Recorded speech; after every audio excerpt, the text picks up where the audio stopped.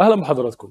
حساسية الفول السوداني واحدة من أهم كلمات البحث رواجا النهارده على مواقع البحث المختلفة عبر الإنترنت وده بسبب إن في بعض الأشخاص بدأ يظهر عليهم أعراض مرضية معينة زي الكحة مثلا والدكتور بيقول لهم إن دي حساسية الفول السوداني.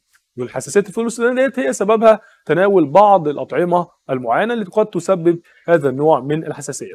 الفول السوداني من أكثر الأطعمة المسببة للحساسية بشكل عام وبتشبه البروتينات الموجودة في الفول السوداني الموجودة في المكسرات. علشان كده ممكن الأشخاص اللي عندهم حساسية من الفول السوداني يكون عندهم أيضا حساسية من المكسرات زي اللوز والجوز وكمان البندق.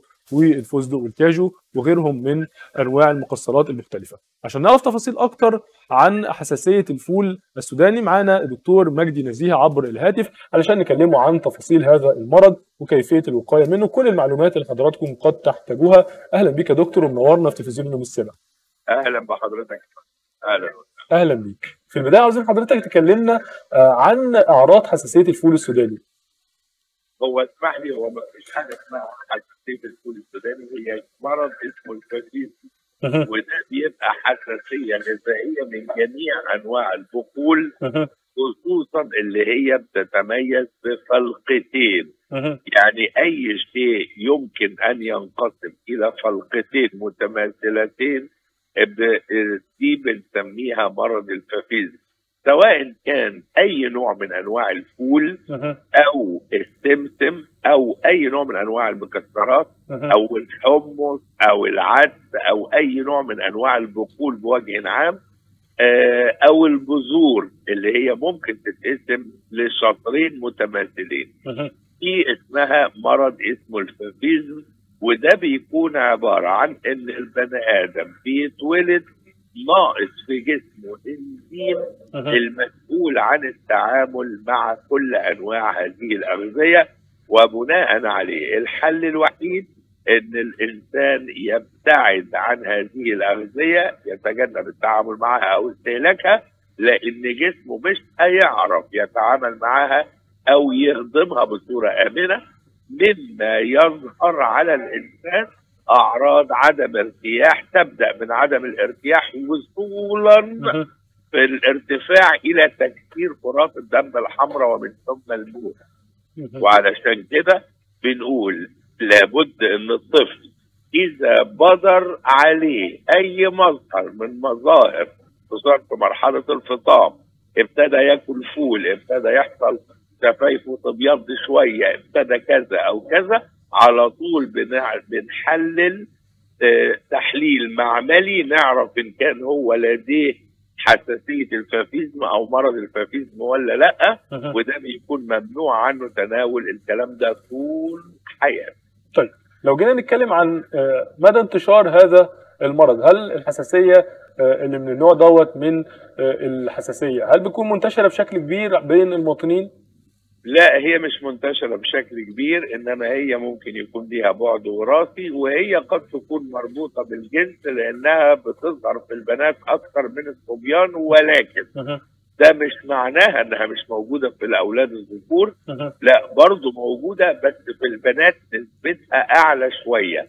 ما هو السبب؟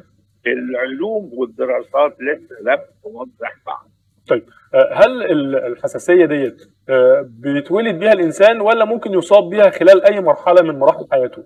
لا هو أصلا بيتولد بيها ولكن ممكن يكون الطفل مولود بنسبة بسيطة من الإنزيم ده. النسبة دي يا دوبك ممكن تكفيه خمس سنين أو عشر سنين. بعد ما بتستهلك بيبتدي يظهر المشكلة عنده. نيجي نقول لا ده كان مولود كويس وهو أصاب على كبر. لا هو أصلا مولود عنده الاستعداد القوي لهذا الموضوع. فهي بتبقى درجات.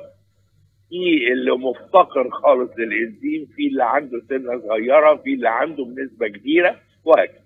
طيب هل الحساسية ديت ممكن آه تكون معدية سواء آه لا خالص. ما فيهاش أي نوع من أنواع العدوى نهائي نهائي نهائي خالص. فقط إن البني آدم ما بيقدرش يتعامل هضميا بصورة آمنة مع البقاء طيب هل في أمل مستقبلا أو في الفترة الحالية أبحاث بتجرى من أجل علاج هذه الأمراض؟ ال- الدراسات والبحوث عملت حاجات مذهلة. المنطق بيقول إن ده صعب.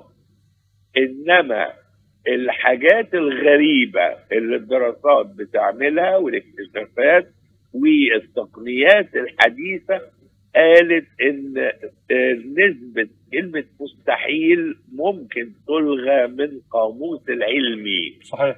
الله أعلم. الله قادر. إن هو يرحم الناس ديت ويوجد لهم طريق كمتنفس فيه دكتور مجدي نزيه إحنا بنشكر حضرتك شكرا جزيلا على كل المعلومات اللي قدمتها لنا خلال التغطية. شكرا جزيلا لحضرتك ولكل السادة المستمعين. نشكرك مرة ثانية أهلا. دي كل التفاصيل والمعلومات المتعلقة بحساسية الفول السوداني زي ما هو متداول بين المواطنين ربما يكون لها اسم علمي آخر.